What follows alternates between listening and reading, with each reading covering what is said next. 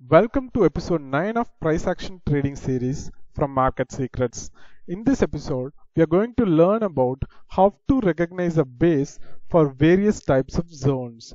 In the previous episodes, you have learned about extremes, which is called valleys and peaks, as well as continuation patterns and gaps. All these formations have a base or price action in common. Furthermore, it is important not to confuse candlestick patterns with a continuation pattern. The former is a Japanese price action formation. The latter is an expression mostly used in this supply and demand strategy. As CP is made of Japanese candle pattern, if you are using candlestick charts, all the formations will actually be made of them. Once you are able to recognize the price action properly, and if you are able to spot the valleys, peaks and continuation patterns, the next important aspect is to pay attention to drawing the zone. We have rules in place for drawing the zones. So let's discuss about zone drawing in detail in this episode and we will be focusing on recognizing a base in this episode. First of all, let's first define what a base is, but also keep in mind that bases almost never present themselves as textbook structures. The following are the features we should be looking for when trying to locate a base or a pause in a market. A base can be made of 1. A single 50% candle. Number 2 up to 6 50% candles and not more. Number 3 a Marubozu candle. This is a very rare formation, a tight base with no wicks or almost no wicks at all. There are a few different types of Marubozu candles. Some Marubozu candles will be really big and some will be very very small. We will only take into consideration the small Marubozu types for recognizing a base because a base is a pause in the market. So a very big candle cannot be considered as a pause. So we will not be considering it for a base. And number four, an engulfing pattern. But the first thing you want to do is to become an expert at locating a price action levels such as valleys, peaks, CPs and gaps on any price chart. It doesn't matter which time frame you choose since price is fractal. Whatever structures and patterns there are on a daily chart, you will find the same on other time frames. Some say that drawing levels correctly can be considered as an art. I don't agree with that. If you have rules that can be consistently and methodically applied the same way every single time, there should be no art in it. It just takes practice and a lot of screen time, so be patient.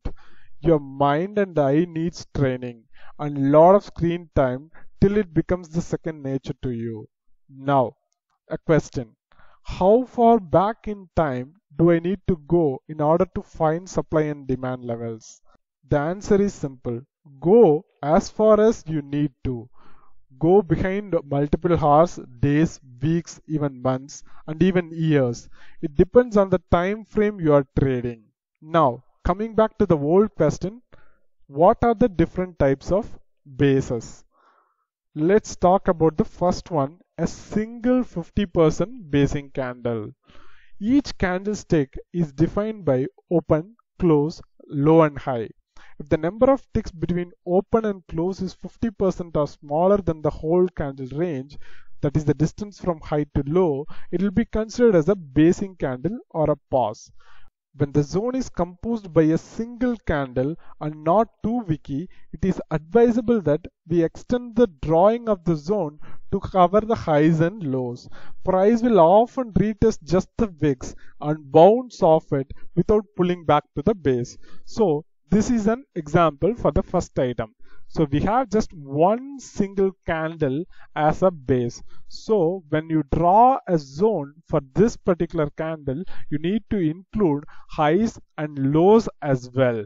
So you need to be covering both the highs and lows because the price will be testing only that particular wick and it may not come to the body. So you need to draw the zone by covering the entire candle. That is a rule if you have just one single candle at the base.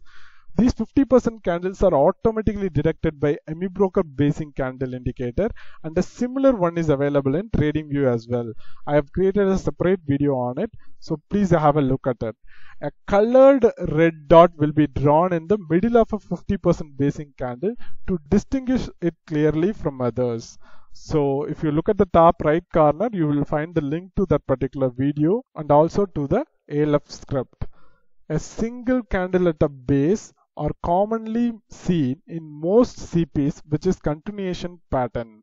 So this is actually a continuation pattern and you are able to see a single basing candle in this CP. So this is the first item. Now the second item is up to six 50% candles. So the second scenario is having multiple candles at the base, but it cannot be higher than 6 candles. This is the most common scenario. We usually see a few basing candles forming a base because price creates the second leg out. Rules allow maximum of 6 candles at any base, but you can stick to even 4 or 5. But the max you can go is 6. So when you draw a zone for this particular kind of scenario, you need to ignore the wicks and you need to draw using the body.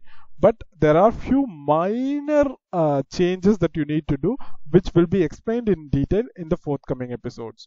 So this is the second kind of base. You can have multiple candles as your base, but it cannot be higher than six candles. Now moving on, the third item is Marubozu candles. As mentioned earlier, this is a very very rare scenario. Marubozu candle pattern is a tight base candlestick with no wicks or almost no wicks at all. So if you look at these two bases, right, this is actually a CP and actually this is actually two CPs. This is the first uh, CP and this one is your second CP. You will understand this later once we cover the forthcoming episodes. But for now, uh, you can spot the two Marubozu candles here, right? So these candles doesn't have any wick at all. So these candles can be used to draw the bases. But as mentioned earlier, there is an important note here about Marubozus. We only use Marubozu candles that have a very small body and not big white or big black Marubozus with long candle bodies. A long candle body will never be a pass in the market. So use the logic here. It will be an ERC candle. They are very strong bullish or bearish signal after a break of a higher time frame zone. So you should never consider big candles as your base. So in this case, these two Marubozu candles, the small Marubozu candles can be used for drawing the base. And lastly, engulfing patterns. The bullish and bearish engulfing patterns are very common in CPs. They are high odds formation. If they are momentum engulfing patterns and opposing imbalance is far away. So if you look at here, there is a bullish engulfing happening here. There is a bullish engulfing happening here. So in these kind of scenarios you can use this engulf to draw a zone. This is actually a very very common appearance in cp and it is actually a high odds formation now coming to the assignment part, open your chart and draw a rough zone using rectangle box like this for the four different types of bases that I have explained today and share the link in the comment section of this video. Hit the like button if you have learned something from this video. I request your feedback and queries about this episode. Please leave it down in the comment section. Also subscribe to our YouTube channel and click the bell icon to get notified whenever we upload a new video or conduct a live session. Please share this video if you find it useful. Thanks for watching. Have a great day. Goodbye.